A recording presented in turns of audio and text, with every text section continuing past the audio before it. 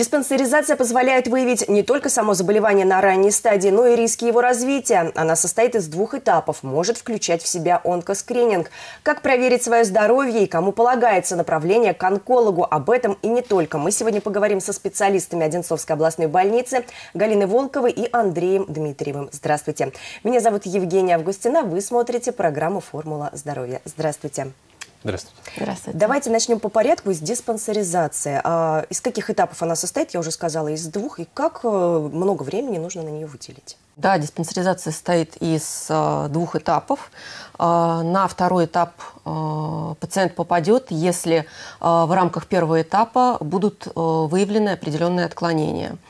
Э, как правило, первый этап диспансеризации занимает не более двух часов.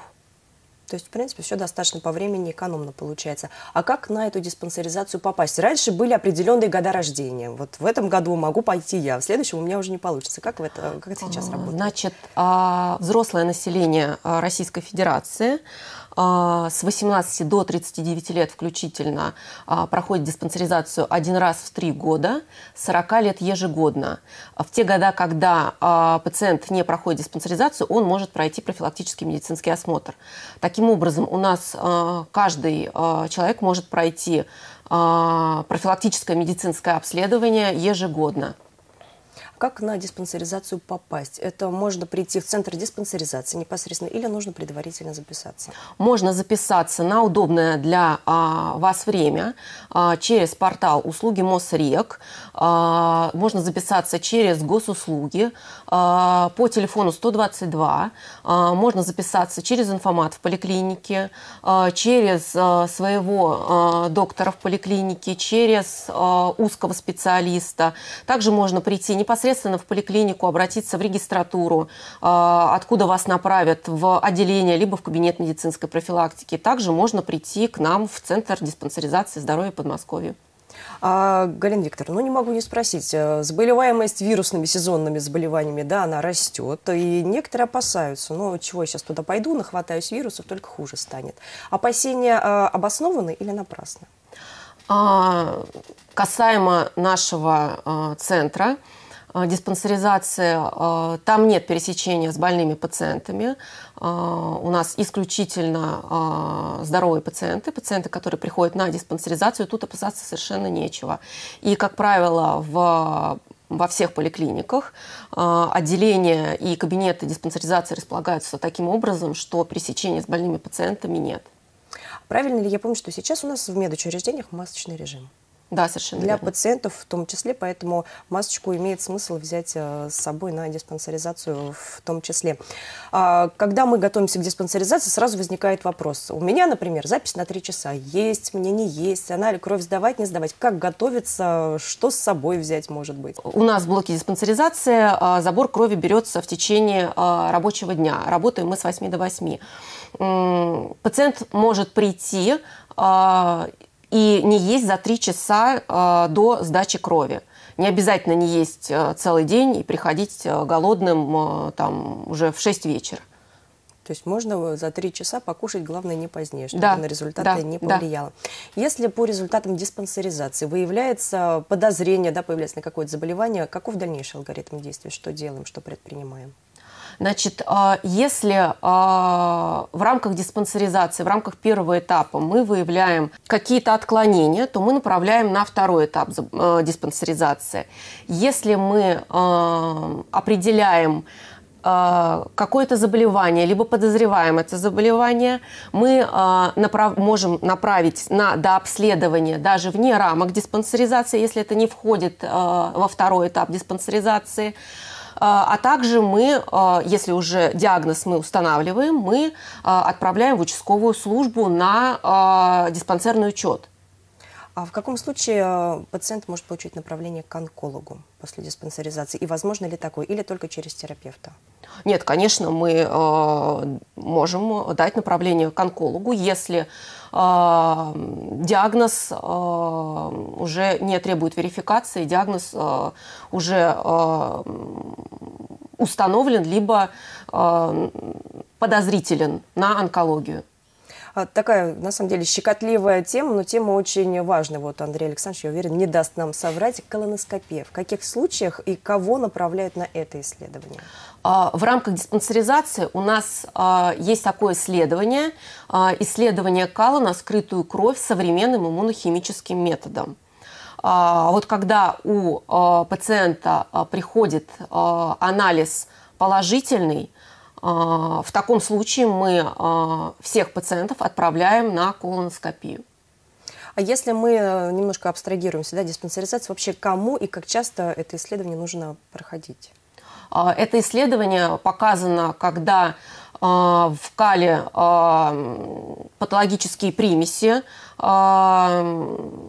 находятся, э, допустим, та же самая кровь, о чем мы говорим, возможно, слизь, гной, а, когда а, определяются а, боли по ходу толстого кишечника с жалобами на выраженные запоры, допустим, да, ну и по необходимости, по направлению врача по показаниям. Конечно, это не делается просто по желанию. Вот только хотела спросить, а для профилактики просто так? Нет, при... про, по, не просто стоит. по желанию человека это не делается.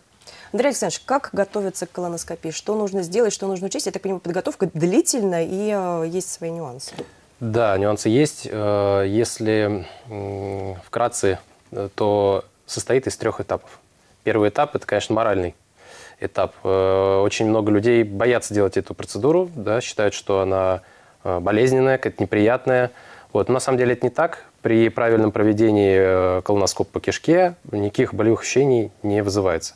Конечно, есть исключения, когда у пациента, например, большое количество операций на брюшной полости было, и образуется спаечный процесс. Тогда, конечно, появляются какие-то затруднения, но в общем и целом проходит все благополучно. Это первое. Второе – это, конечно, диета. Это самое важное. Без диеты хорошей подготовки не получится. А, диета должна включать в себя продукты высокобелковые. То есть это, например, курица, да, э, индейка, э, кролик, то есть диетические, да, э, также нежирные сорта рыбы. На этом всем деле можно сделать бульон, но в бульоне ничего не должно плавать, кроме как вот мяса и воды. То есть никакой зелени, никаких макарон, никакой картошки, ничего такого нельзя. Можно кушать куриные яйца да, в любой интерпретации. Можно есть нежирный творог, можно побаловать себя пюре жидким. Сладкое тоже можно. Сахар, мед, кисель, зефир. Пожалуйста, это можно. Почти все остальное, что я не назвал, нельзя. То есть, вкратце, это жареное, острое, это алкоголь, это фастфуд, это э, овощи, фрукты, это какие-то семечки э, и какие-то э, сухофрукты. Этого всего нельзя. И, в общем-то, надо придерживаться правила, что э, если ты не знаешь, можно ли это есть, то лучше это не есть. Вот. И третий этап – это специальные слабительные препараты для очистки кишечника. То есть пациент берет этот препарат, приходит домой и готовится. А, можно готовиться двухэтапно, можно готовиться одноэтапно. Это зависит от того, насколько у пациента запись на исследование. Если мы говорим про первую половину дня, то это двухэтапная подготовка. А, пациент пьет половину препарата вечером, чистится, ложится спать. Утром встает, принимает вторую половину препарата, чистится и приходит к врачу. Последний прием нужно закончить за 4 часа до исследования. Одноэтапная схема – это когда человек пьет весь день, то есть до этого исследования. Например, если у пациента во вторую половину дня, то он с утра пьет до обеда. Важно, чтобы во вторую часть этого препарата был добавлен семитикон. Это пеногаситель. 15-30 мл будет достаточно, чтобы погасить всю пену, Э, в толстом кишечнике. А есть ли альтернатива этому исследованию? Как таковой альтернативы к исследованию нет. То есть э, колоноскопия – это исследование здесь и сейчас. Мы можем исследовать толстый кишечник с помощью нашего аппарата, э, с помощью маленькой камеры, которая закреплена на конце нашего аппарата, и изображение появляется на нашем экране, который имеет HD-качество. На колоноскопии мы можем оценить слизистую оболочку толстой кишки, складки, размер складок, толщину складок, э, заглянуть за каждую из этих складок, раздуть кишечник, можем сдуть кишечник, то есть как нам удобно, так и делаем. Э, очень удобно визуализировать какой-то небольшой участок патологический, то есть мы можем к этому патологическому участку подойти поближе, увеличить картинку с помощью Dual Focus, э, можем покрасить этот участок специальными красителями, можем использовать узкий спектр света, который у нас э, в аппаратуре имеется. Также можем определить размер, в общем, структуру, из чего приблизительно состоит это образование, где оно находится, протяженность. В общем, все-все можем исследовать. И самое главное, почему колоноскопия так важна, мы можем взять биопсию и отправить ее на гистологическое исследование. Поэтому... Выявить какое-то страшное заболевание на ранней стадии. Да, конечно. А многие уверены, что ну, колоноскопию, в принципе, сделать можно, но под наркозом. А вот без наркоза, ну, нет, никогда в жизни, потому что это больно, страшно. Но суть потому, что вы говорите, это не так. Нет, абсолютно нет. Главное, чтобы были умелые руки и хорошая ну, Конечно, и чтобы пациент был, самое главное, готов морально, потому что это очень важно. И э, врач может делать все очень хорошо, а пациент весь взволнован и не получится. Поэтому, ну, а золотые руки, хорошее оборудование в нашей Несовской областной больнице, слава богу, есть. Ну, конечно. Да, спасибо большое, что пришли к нам сегодня в студию.